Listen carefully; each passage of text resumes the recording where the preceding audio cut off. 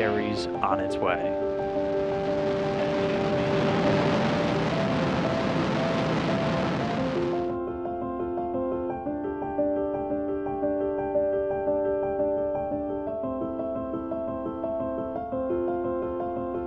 It's true that quantum mechanics is the, is the science of the very, very small, but due to sort of a twist of fate, it's also the science of the extraordinarily cold. This idea, this sort of relevance, this connection between the very, very cold and the science which underpins the very small, which underpins the future of, of, of our economy, is not a new idea. In fact, there are hundreds of groups around the world here on Earth, including mine, which are studying this thing called Bose-Einstein condensation, uh, with this idea in mind. But up in space, we hope to be able to get colder yet.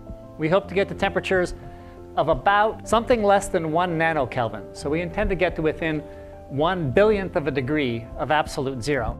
I always ask students what's the most widely used material on Earth? And the answer is water.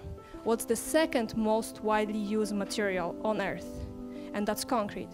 For every person sitting in this room, there is one ton of concrete being produced and consumed every year. We really need to understand much better what is happening with this material and how we can use it more sustainable on Earth and how we can make a usage of raw materials present in the space and make a binder, concrete-like, cement-like binder in the space. So if we can make the process pure, because we know from protein research that the crystals will go larger and more, more ideal in its shape, if we can narrow down the amorphous phases and the crystal phases forming hardened cement paste, maybe we can improve the process on Earth. So here we are doing essentially a fundamental paradigm shift in the way people have processed chemicals. So we're shifting from a gravity-based paradigm to a force, surface forces driven. This is the device that we are sending to space we hope to learn uh, more about how this, this device works in order to make it better. And so this would benefit Earth applications, hopefully pharmaceutical production. In terms of exploration of deep space, you need to have the capability of making uh, molecules. So you need chemical processing capabilities, and this if it works in the way we hope, would enable certain steps in order to pave the way towards chemical synthesis in space.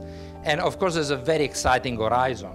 All three of us up here have projects that are based on the use of small satellites called CubeSats. All three of these projects are Earth observing missions. From the ISS, we later in the summer get pushed out into orbit, into free flying orbit. We've built a new processor that's a very capable processor. Um, it's, it'll be the first time a processor like this has been used in space.